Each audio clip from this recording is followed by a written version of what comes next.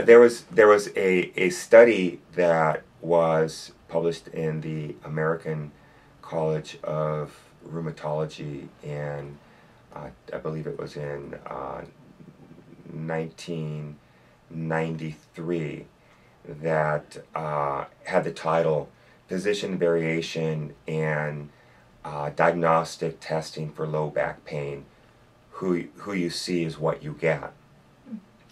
And um, uh, essentially, the, the study uh, showed that uh, what specialist you saw uh, uh, varied as to what recommendation would be made.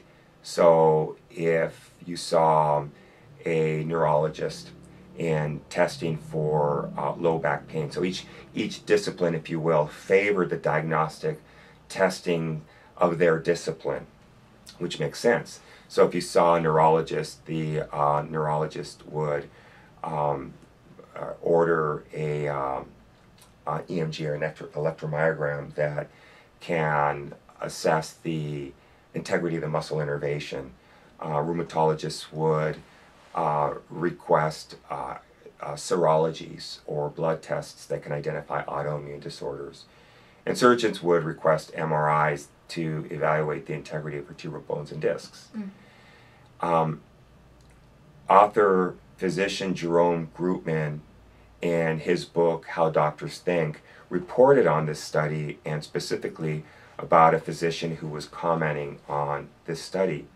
And the physician stated that essentially each approach was a franchise and that um, insurance companies reimbursed for more invasive procedures in, even if it meant just sticking the patient with the needle. So there's a powerful drive to do invasive procedures. Um, and that's just a, a, reality. And, and um, to me, that's not that different from what we do in dentistry. Um, for one thing, the all important diagnosis is an implied competence, meaning that we're assuming that there is a diagnosis, and um, and that if there's a diagnosis, that we're looking at what the alternatives are. Um, and insurance companies will reimburse for, uh, let's say, a three surface preparation on a tooth, uh, tooth versus uh, a two surface. Will pay more for you to remove more uh, tooth structure. In other words, um, you get paid a higher fee for more aggressive treatment mm. than for less aggressive treatment.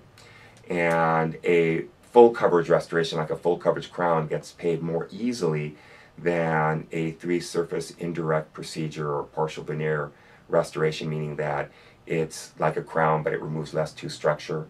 Um, it will, the insurance companies typically will balk or not pay for procedure like that that's more conservative as easily as a full coverage restoration. So it's similar in dentistry as well. It's just the way the insurance companies um, set things up. And I, I think that when you're incentivizing for more invasive procedures or more uh, aggressive procedures, then that it, it, stands to reason that that's the type of intervention that you're going to to have. So I believe again it's important to um, to to look before you leap, and uh, there's no question that ma- many times, oftentimes, these procedures are necessary. And if you need and if you if you need to do it make sure you do it at the highest level of skill that you can but make sure it's also justified or driven by proper diagnosis and the patient's uh, awareness of the risk and the benefit of doing those procedures